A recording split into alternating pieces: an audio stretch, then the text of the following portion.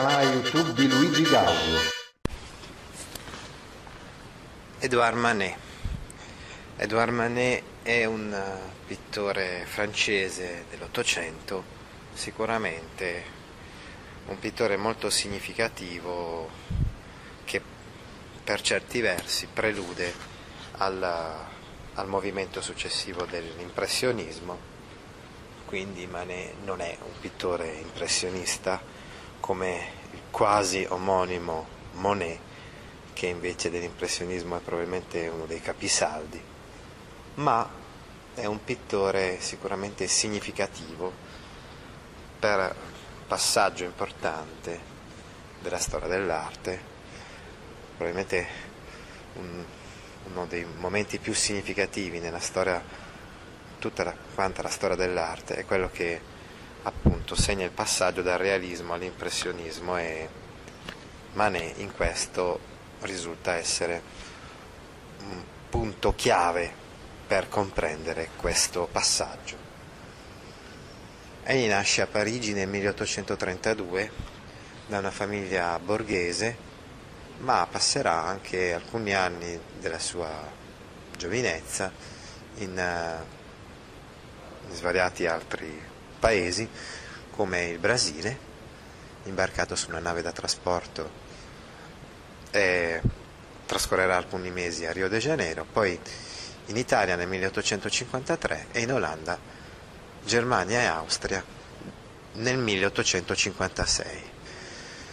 Durante questi viaggi visita i musei, studia, copia eh, le grandi opere di Tiziano Tintoretto, di Velázquez, di Rembrandt e di Delacroix. Nel 1858 incontra e diventa amico di Charles Baudelaire. Mm, nel 1863 la sua prima mostra personale alla Galleria Martinet di, pa- di Parigi.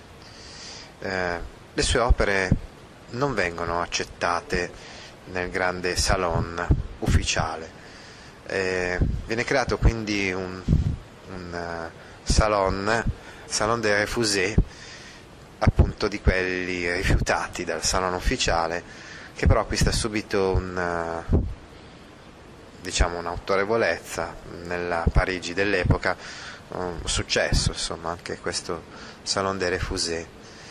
Lì esporrà un uh, quadro, un olio su tela molto importante e significativo, che è eh, Le Déjeuner sull'herbe.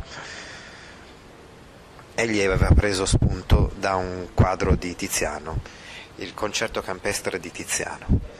Tuttavia aveva rappresentato in questa scena non ninfe, eh, divinità come aveva fatto Tiziano, ma ha rappresentato personaggi del suo tempo due uomini eh, vestiti con i vestiti appunto del, dell'Ottocento e eh, una donna nuda che partecipa pensosamente alla discussione, totalmente nuda questa donna era però perfettamente riconoscibile dalla gente dell'epoca in quanto era una strumentista, una chitarrista che si esibiva nei locali eh, parigini.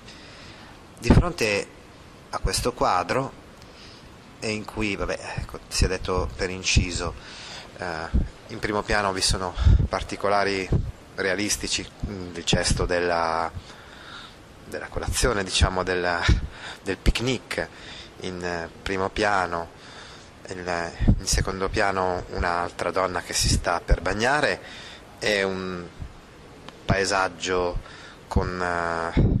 Ecco, questo sì, forse ha effettivamente ispirato gli impressionisti, questo paesaggio sullo sfondo con queste pennellate un po' frammentarie.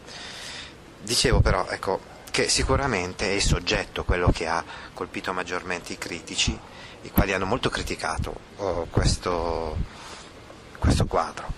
Ritenuto un po' troppo audace, quasi come se avesse banalizzato una un soggetto eh, nobile, come appunto quello del quadro di Tiziano, eh, come se avesse banalizzato insomma, la grande pittura rinascimentale.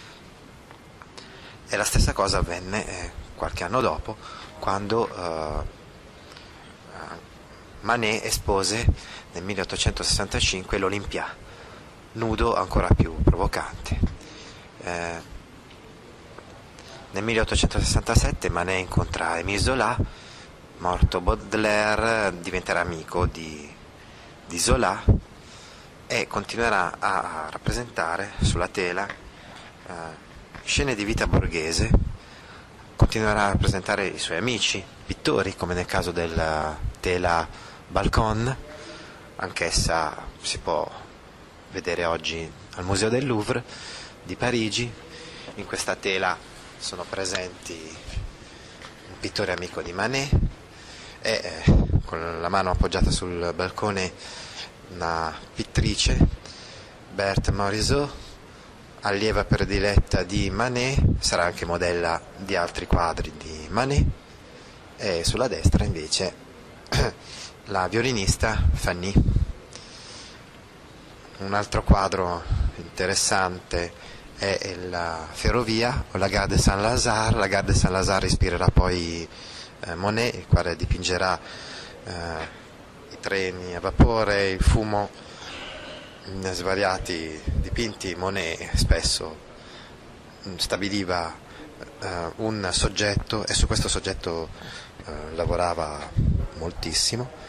Manet invece eh, cioè, ovviamente mo, uh, lavorava moltissimo con il suo nuovo modo di operare che è quello degli impressionisti. Manet invece intende rappresentare la psicologia dei personaggi e questo lo si vede per esempio nella donna in primo piano sulla sinistra che eh, alza lo sguardo dalla lettura del libro, eh, la donna che ha il cagnolino in grembo e che esprime mh, tenerezza, trepidazione e il realismo presente anche nella raffigurazione della bambina che si aggrappa alle sbarre sulla destra.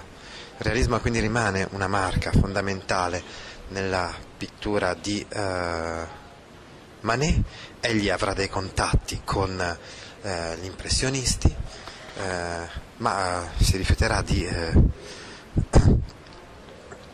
presentare le sue opere, eh, di esporre con eh, gli impressionisti e morirà nel 1883 e l'amico Marcel Proust pronuncerà uh, l'orazione funebre.